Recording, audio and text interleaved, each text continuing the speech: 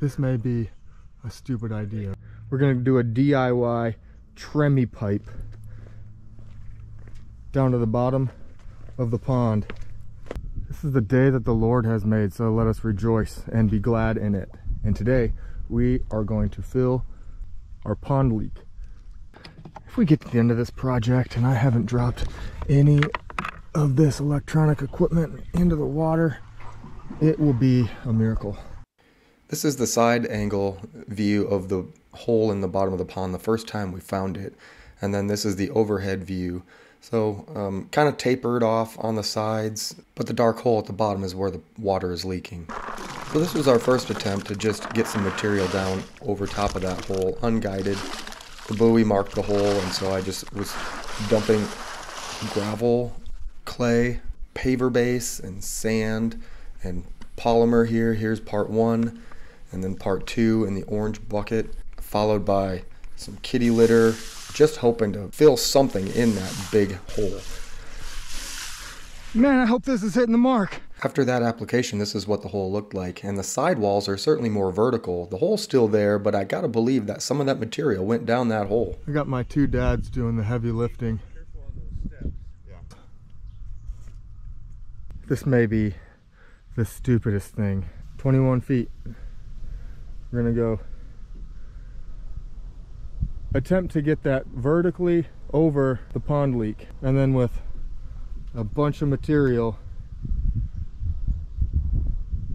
dump right down the pipe into the hole so I set the camera up for a time lapse of this part. We had no idea how difficult this would be. This pipe was heavy and it sunk. So it didn't need any extra weight on the bottom. I've got to say that this was probably the easiest part of this entire project. I was able to manipulate that pipe on the console of the pedal boat right through the center. I was able to kind of guide it down and then pull it right back up. Okay, so we fashioned this pot planter onto the bottom of the pipe to keep it up above the surface so that any material that we drop down through the pipe can get sucked right down into the hole. The problem was is that these feet don't have enough of a platform. They sink right down into the clay bottom. Zip ties are cheap. Our time is not. Okay, so what we're doing here is we're we needed more footing than just these wire posts. It sunk down into the clay too much. And so got a little piece of angle aluminum, just the right just the right size. Give us a tripod that won't sink down into the clay as much. Getting the pipe into position roughly was the easy part. Maybe the most frustrating of this entire process was getting the ropes tied off onto the pipe to keep it in place.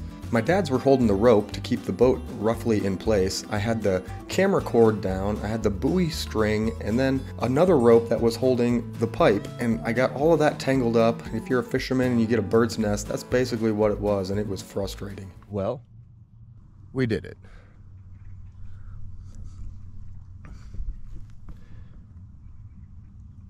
This is our Tremie, our Tremie funnel. Got it tied off in four different directions. It's sitting right in the hole, but it knocked a bunch of the material down into the hole and it's not exactly suctioning, which is a good thing, but not great because any material I drop down the hole just fills the hole up. So I feel good about it being right over the hole, but it kind of sunk down into the hole, kind of clogging it all up. The whole idea of what we want to do, but I was hoping to get some material down in the in the hole first. Anyway, you'll see on the underwater camera. So just to show you the progression, this is the hole after I did that first application. You can see the buoy anchor in the hole itself. And so I threw a dye tablet down to confirm the flow of the leak still. All this white stuff on the surface, that's a slimy jelly-like mixture of polymer and clay and sand. So it's easy to be Monday morning quarterback, and looking back at the tape, I wish I would have just left this thing right here. But I continue to kind of shift this around, trying to get it right over the hole. You can see the the cord from the buoy down in the hole and I got the pipe positioned and kind of like kind of like a potato masher just mashing all of that material that has congealed down there. So what I think happened is that a lot of this material got kind of shoved down and sucked into that hole. And here's a part where you can see some of that just getting sucked right down in there, which will help. So that I've narrowed the hole down. That little that little dark piece, there's a dark leaf there, but the, the dark the dark hole just to the right of the pipe is the last opening of the hole that I can see. And I just continue to keep shifting this thing around. If I would have seen that on the camera while I was in the boat, I would have left it alone. But trying to hold the camera, trying to shift this pipe, hold the ropes, it was a fiasco. But here, all of this stuff down there, that's all the polymer and clay and sand and paver base, all, all of that material just all mashed together. So at this point, I threw a dye tablet down to see if I could track the leak direction because at this point I couldn't see the hole anymore. I was pretty sure that I was over it, but there was nothing really getting sucked down into it. So I was just trying to see if I could get the dye tablet to trace down into the hole. It was kind of inconclusive. So ultimately, what happened here is that the pipe actually nestled down inside the the depression of the hole, and so now the pipe is like sitting right on the surface of all of that stuff, and there's no room for any material that I would throw down the pipe to flow through. What I can see here is that the dye seems to mostly be rising, which I found interesting.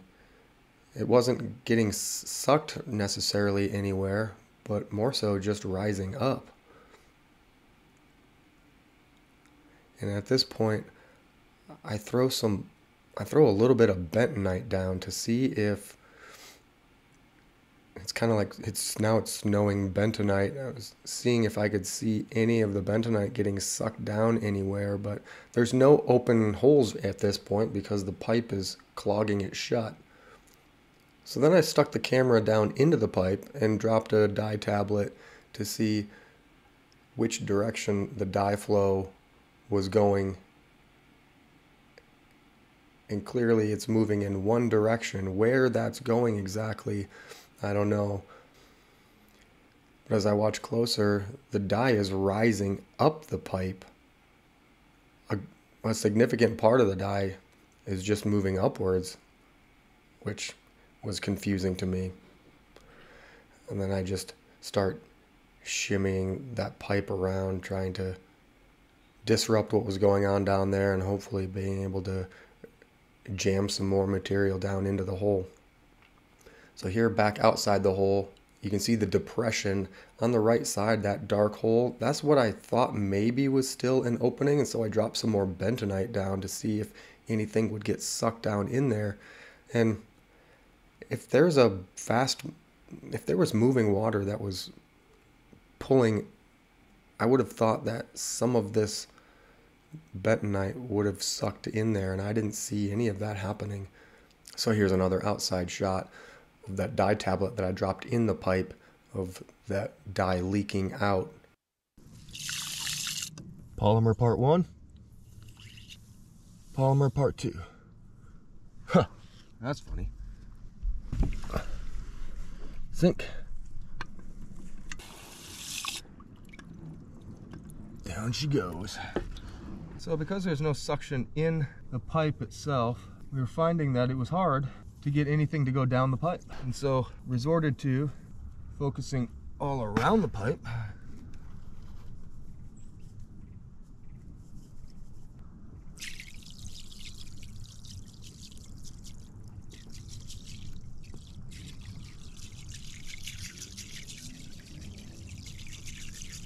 Didn't quite go as planned, but it might be working. I know that the pipe is right over the hole. And with all the material that we put down there, since there's no suction, the water actually isn't like when I pull the I pull the pipe up a little bit, like the water level doesn't drop to the same level as the pond. And so the bentonite and the polymer, I think sealed up the end of the pipe. It can seal a six inch hole. So it's gotta be sealing something down there. Guys, I'm tired and hungry. And man, this is a mess. Now for what you've been waiting for. What did all of that do? So this is two days later with the camera down right next to the pipe. There look to be like little craters, and I don't know if those are little seeps that opened up next to the main hole that I've got the pipe plugged into. Clearly on the right side of the screen here, that crater, it almost looks like an ice fishing hole. Polymer is covering this entire area. There's this jelly-like polymer substance that has expanded and it's covering this entire area. And that hole, I've got to believe that it opened up a, a channel to the main hole because of the water pressure still. And I'm I'm trying to figure this out just like you are. Here's a, a little closer look. But what I found interesting is that the polymer has completely sealed that.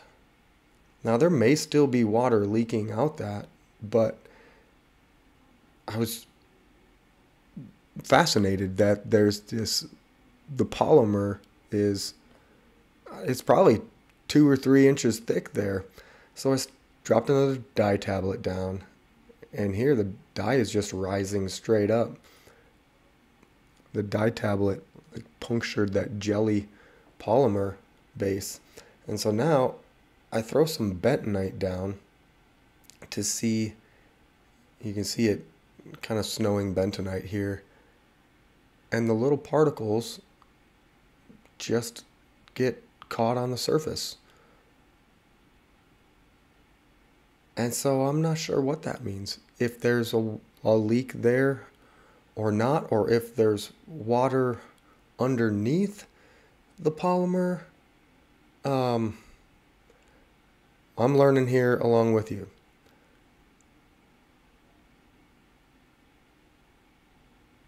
But there's no there's no dye path that's going toward that hole. In fact, I didn't notice any direction that dye was going other than straight up. So I've thrown a bunch more bentonite down in this area and that hole is completely covered. Nothing's getting sucked down in there and there's a, a little bit of dye floating by. And now I'm throwing some little small pea gravel down, kind of agitating the surface. That polymer jelly substance mixing with bentonite and all of the clay particles and gravel. And now I'm just making it a blizzard down there trying to have the polymer bond with clay. Bentonite is clay, it's just an expanding clay. And so this is where we're at. This is what it looks like current day. And so while that's all going on underwater, above the water, we've got our waterfall and our patio coming together. Greg Gill at Eastern Iowa Landscape and his crew are getting the straw mats down, grass seed to help prevent the erosion. And so I'm working on a waterfall build video that you'll want to check out. So go ahead and subscribe. Thanks for watching the channel, guys. Appreciate your support. We'll see you next time.